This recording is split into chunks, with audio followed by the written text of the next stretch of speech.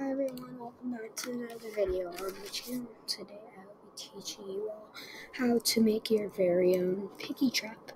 So let's get right into it. So first what you want to do, add in a part and scale it about like that. Change the color to gray and now you want to go in toolbox, models, um, and search in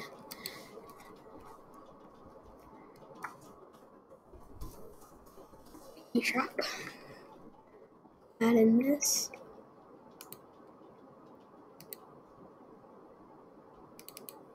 And then, as you can see, there's everything you need.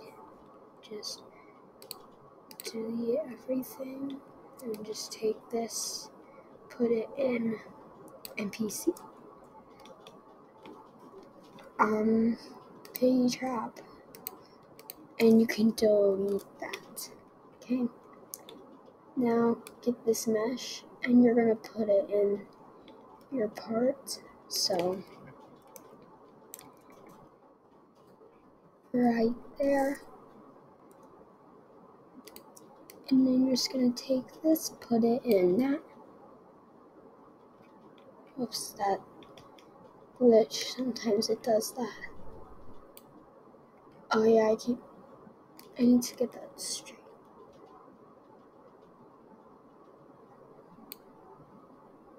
Mesh. Mesh ID.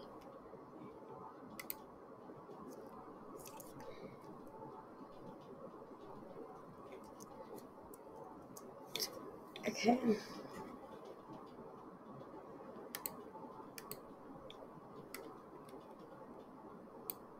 Put it in there.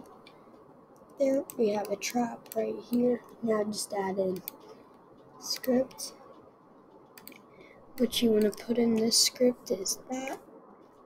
Okay.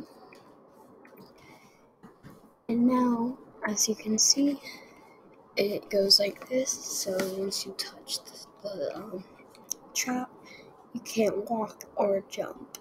But then after 10 seconds, you can kind of walk, kind of jump. After 5 seconds of that, you have you're back to normal. So let's test that out.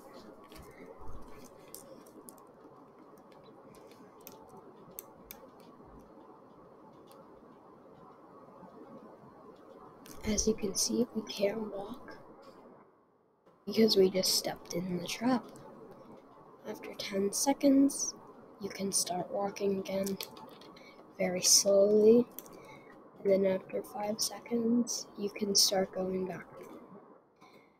And, um, so yeah, that's pretty cool. Um, in the next video, I'll be teaching you all how to make a spectate GUI where you click this and you can spectate people so yeah, since I'm the only one in the game, it says spectating Arctic Fox Phoenix.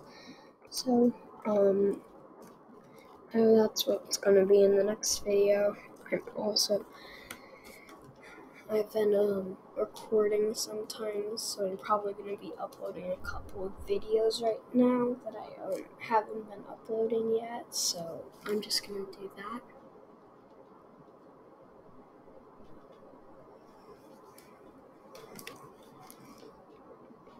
So yeah.